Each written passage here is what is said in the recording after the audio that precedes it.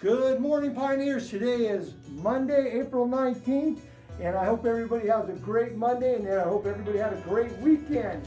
Before we do the flag salute, uh, I want to remind our Pioneers to do your 20 minutes of Imagine Learning, Imagine Math, and Imagine Math Facts. It's extremely important that you do this during your asynchronous time. Please join me for the flag salute. Ready? Salute. I pledge allegiance to the flag of the United States of America.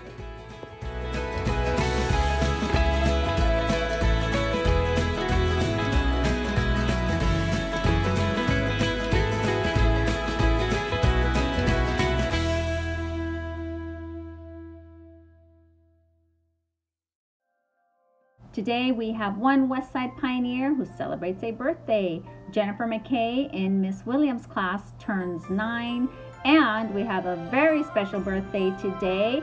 Our amazing principal, Mr. McCulloch, celebrates a birthday. Make sure you give him a big birthday wish when you see him today.